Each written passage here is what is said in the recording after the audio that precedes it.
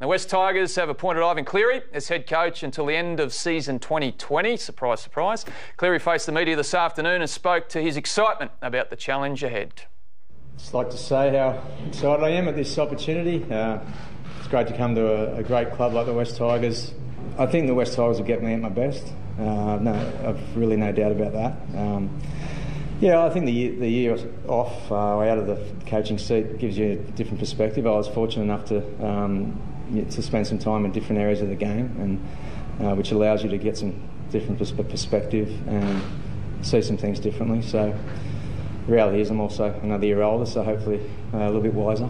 I'm confident that the, the program that I can help deliver uh, will get results in time. Uh, how long that's going to take uh, is what I will find out over the next weeks and months my two experiences at two different clubs, uh, Warriors as well, were both uh, you know, building phases. Now, I, I, don't. There's clearly some blockages in the program currently at the West Tigers. Uh, that's coming out in the field at the moment. But to what extent that is, I'm still not sure. Uh, I certainly come here with complete respect of uh, the past and, uh, and the preparation that's been done for this season. Once I spend some time, you know, in the within the four walls of the West Tigers, then I'll be in a better position to um, to see what path we're going to take.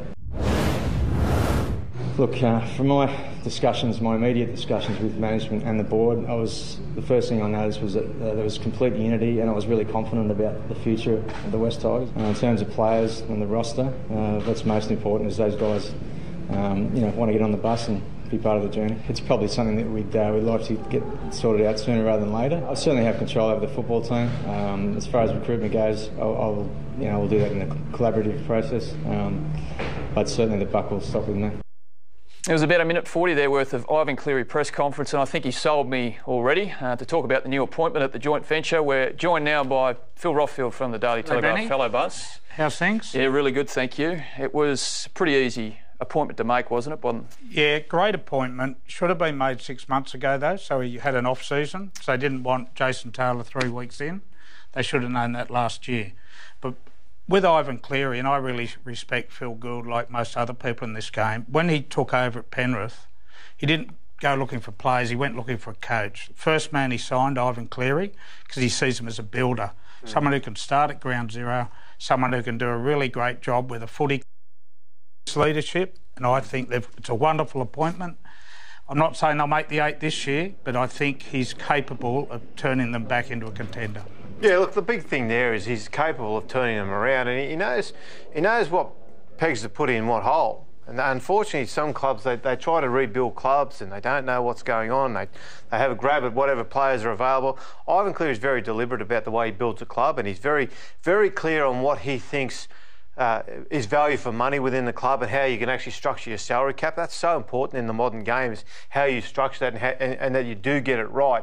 And when he first got to Penrith, he, one of the first things he did was look at the players and how so many of the payments mm. were out of whack. And that's what he'll do now. And it's particularly important given they've got four players at the club right now off contract, all demanding pretty good money. So he can walk in straight away and say, you know what, guys, too much for this guy. Give this guy a little bit more let's make sure we get this guy, mm. and they they'll get it right. You, and the Tigers fans can have real confidence now that whatever decisions are made mm. out of this, it's the best ones for the club, and it's yeah. not just being bullied into yeah. decision making because they're being felt the public pressure. It's so true. I mean, Buzz, you knew Jack Gibson really well. One of his yeah. most famous sayings was, "The best coaches are the best recruiters."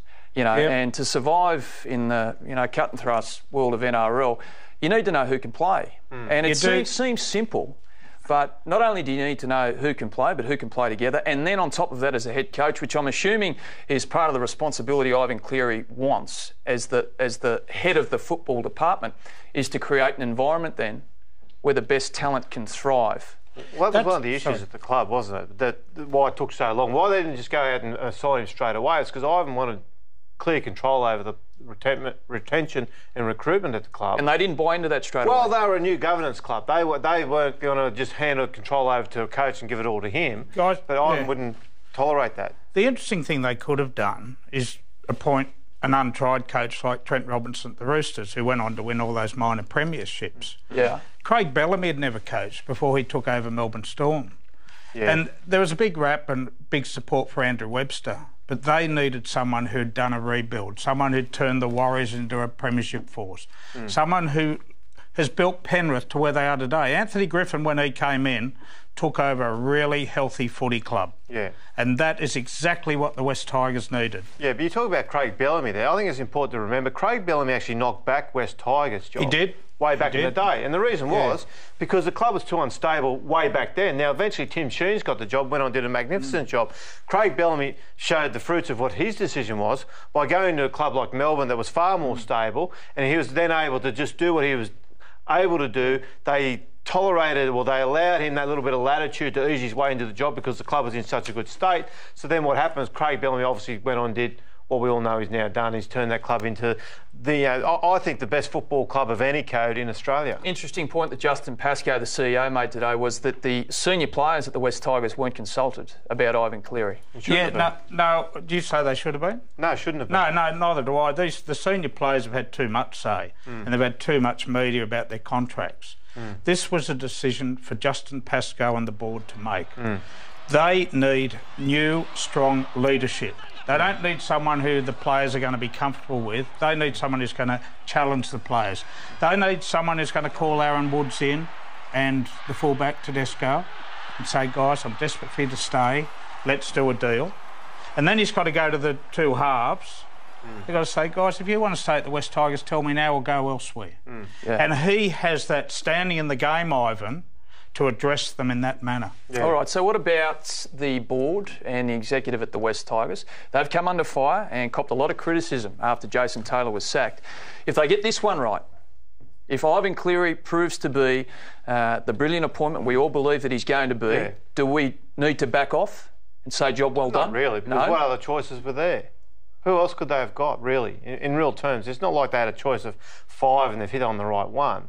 There was one established coach out there that could do this job that they yeah. need to be done. And that's supposedly... Yeah, but Kenty, the, Kenty I, I, do think you need... If this is ex, a successful appointment, they've done, a, they've done the right thing. They could have gone in other directions. They could have given Webster a go.